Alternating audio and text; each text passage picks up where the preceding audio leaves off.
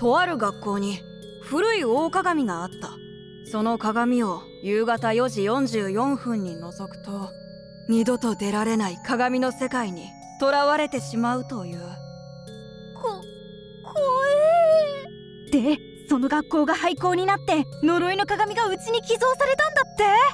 本当かどうか見に行ってみようぜ。こら！下校時刻過ぎてるよ手風紀なら言うさ。4年3組。お調子ノエルお調子？びっくりさせんなよ。何かあったら怒られるの俺だからさ。風紀ぶっちゃって。お前も気になるだろ？一緒に行こうぜ。えー、どうしようかな。校則違反はいかんでいかん。空気の乱れはこの風紀委員長。清井春人が許さん。厳重すぎない？機動隊おかしな噂で鏡に集まりふざけて激突。バリバリに割れた鏡。恐ろしい破片。それで頸動脈を切って廊下が血の海に。心配だ！想像超え。ちょっと見ようとしただけだし。風紀委員のバカ！うんこ！えー、なんだよ。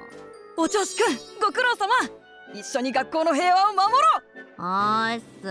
うぜえ風紀委員長清井春人この人はっきり言っておかしいんだよな。全校生徒のプロフィールを知っててキモいし。はい君たち。3年5組のまるくんとバツバツさんね。休み時間も見回り。朝は一人で挨拶運動。おはようございます。おはようございます。空き時間でお悩みボックスの生徒の相談に目を通す。一番謎なのは放課後にオカルト本を血眼で読んでること。キャラじゃないっしょ。謎っしょ。へいへいこの廊下は通行止めチェキラはつまんないの。生徒の敵。あ風紀委員だるくね。ギャップでモテるかなと思ったけどそうでもないし。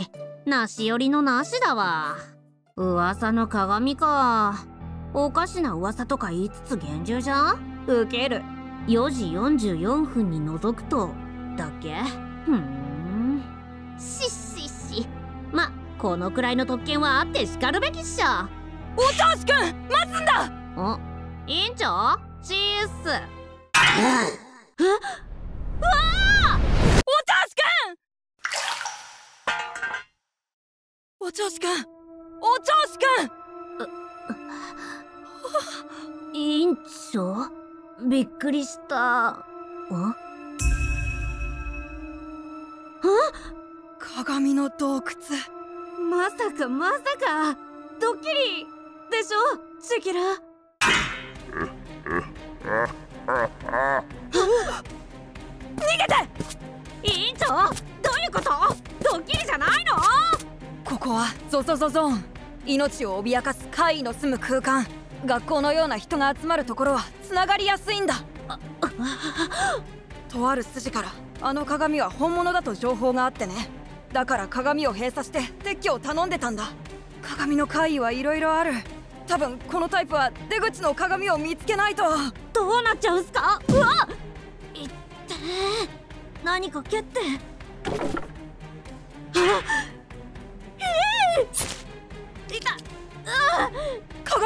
らで切ったんだ。安心して。僕は小学生救急お手当2級の資格を持ってる。ハルト特製風紀ホルダー。生徒を守るためのグッズがぎゅうぎゅう。あ委員長俺のせいで巻き添えに怒ってるかな？いやーでもよかったな。あ？閉じ込められたのが君一人じゃなくて。そうだったら僕君が心配で給食の酢豚全部吐いてたよ。えー、実は僕何回かゾゾゾゾーンに閉じ込められてるんだ。え？だから大丈夫。今回もきっと出れ。嫉妬してるのも危ないなんてジキラ体力が尽きる前に出口を見つけよう。こうして俺たちは出口を探して鏡の世界をさまよったっす。ずっと。うう生徒から没収したお菓子。その子もこの状況なら許してくれるっしょ。あうずっと。あ泉だ。助かった。喉カラカラっしょ。飲んじゃいかん。なんで？水銀だ。昔はガラスに猛毒の水銀を塗って鏡を作ってたんだ。